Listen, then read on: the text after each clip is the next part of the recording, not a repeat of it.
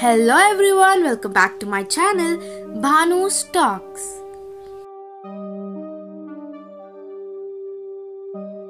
So today in this video, I'm going to clear all your doubts about the food cooked in microwave.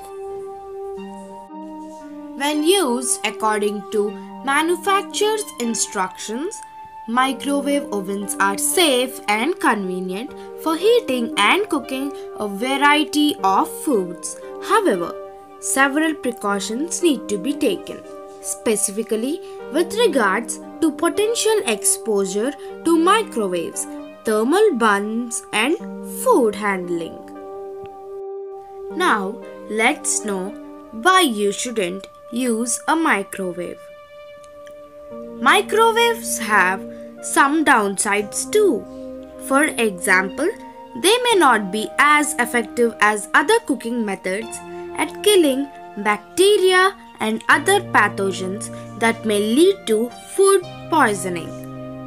That's because the heat tends to be lower at the cooking time much shorter.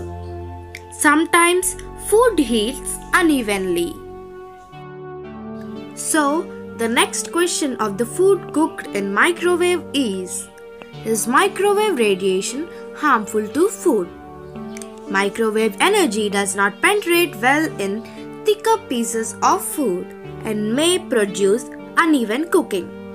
This can lead to a health risk if parts of the food are not heated sufficiently to kill potentially dangerous microorganisms. Next, does microwave food have radiation? Microwaves cause water molecules in food to vibrate, producing heat that cooks the food. The microwave energy is changed to heat as it absorbed by the food and does not make food radioactive or contaminated. So finally, let's know is food cooked in microwave safe? Food cooked in a microwave oven is as safe and has the same nutrient value as food cooked in the conventional oven. Microwave heated food does not become radioactive and is therefore safe. However, the microwave heats the food unevenly. Heating liquids in a microwave oven might be dangerous and cause burns as well.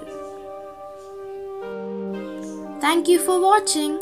Please subscribe, like and share.